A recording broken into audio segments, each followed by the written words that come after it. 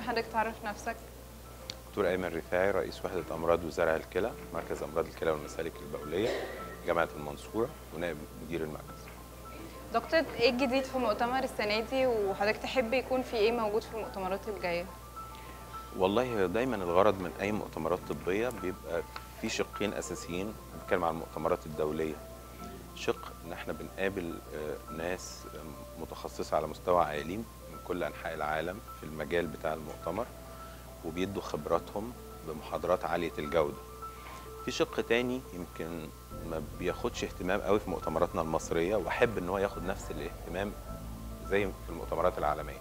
الا وهو الشق تشجيع البحث العلمي. آه، المفروض المؤتمرات ما يبقاش في واحد قاعد مجرد إن هو بيتلقى من أستاذه لا يكون مشارك وفعال.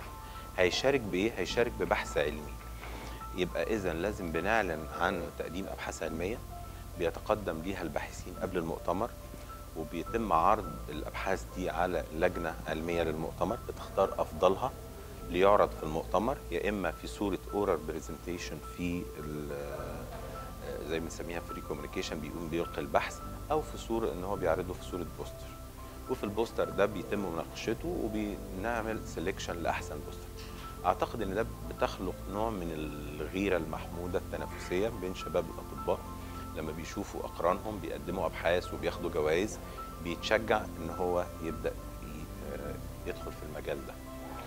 آه، يمكن علشان كمان أنا مهتم بالقصة دي فبدأنا ننشط الجمعية المصريه مجلة الجمعية المصرية لأمراض وزرع الكلى. آه، المجلة الحقيقة شهدت طفرة الفترة اللي فاتت على مدى السنتين اللي فاتوا. بأن إحنا اشتغلنا بنفس الـ mechanism اللي بتشتغل بيه أي مجلة international أنشأنا site للمجلة مع international publisher بيتولاها آه، بحيث إن إحنا بنطلع أربع أعداد في السنة. الحمد لله طلعنا أربع أعداد في 2016 وفي 17 وماشية بانتظام. علشان بعد كده لو فضل هذا الأمر على مدى أربع خمس سنين ممكن نبقى على موقع عالمي ويبقى لنا ثقل في المجلة دي. فأنا يعني بأدعو شباب الأطباء إن هم يحرصوا مش مجرد إنه يجي يستمع في مؤتمر يكون مشارك مشارك برسالة الماجستير اللي عملها برسالة الدكتوراه اللي عملها يطلع منها بحث معين ويقدمه في المؤتمر. ده هيخليه ده تريننج ليه على إنه إزاي يكتب مقالة وإزاي يقدم بحث.